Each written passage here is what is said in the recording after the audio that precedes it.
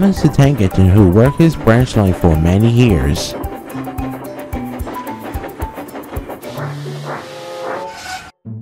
You know where to stop, Thomas. You could almost manage without me. Thomas was conceited. He didn't realize Driver was joking. So, that's what he did. Later, he boasted to the others. Driver said I don't need him now. Ugh, don't be so deaf. I never go out with my driver. I'll be frightened. I'm not scared. You'll never dare.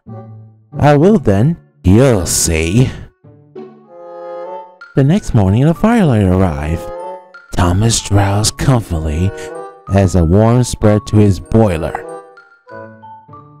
You know even know about the careless cleaner was messing his control. Percy and Toby still asleep. Thomas suddenly remember. Silly stick in the mud.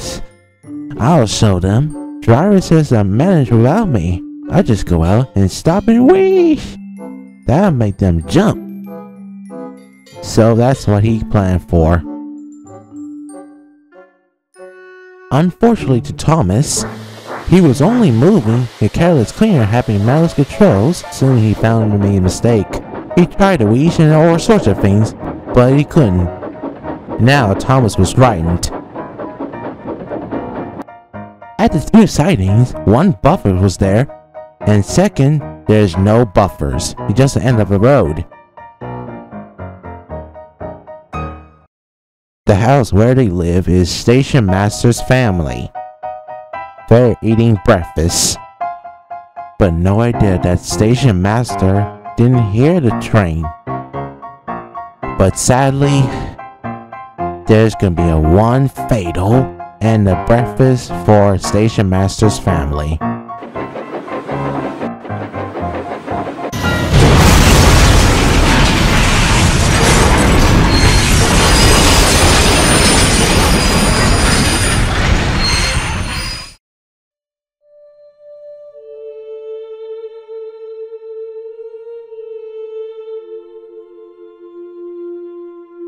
Thomas crashed right through the house. The house went rumble and collapsed. And even destroyed. Thomas felt depressed.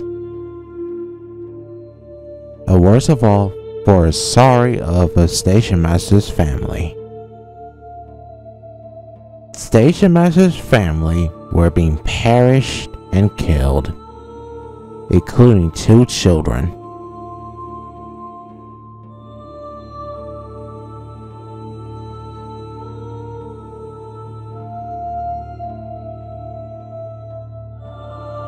Thomas was going sent to the works, so Topham Hatt was there. Cheer up, Thomas. It wasn't your fault.